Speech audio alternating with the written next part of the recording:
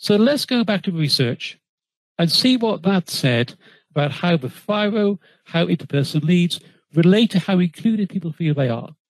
Because many of the people who took part in research had taken the FIRO before, and we had the results. And people's FIRO scores did relate to how included by their manager they felt themselves to be. Now, the FIRO scales, which showed a significant relationship with people's view on how inclusive their manager was, were expressed inclusion and expressed control.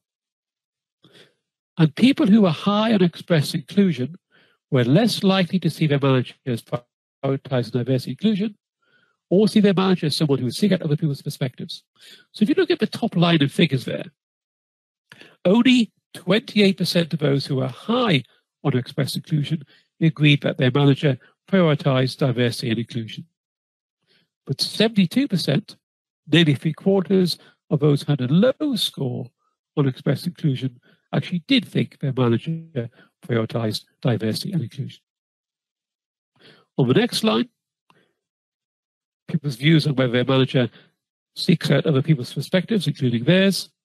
That's actually the question that I asked you a little while ago, where 74% of you agreed or strongly agreed. Now, looking at the final results, 87% of those who were low on express inclusion agreed or strongly agreed with that statement, but only 60% of those who were high on express inclusion. And it may be that some of those who didn't agree were comparing their manager's behavior perhaps unfavorably with what they themselves might do. And respondents with high express control were less likely to see their manager as someone who shows commitment to helping a team collaborate and be inclusive. These individuals themselves were high need to control and influence others.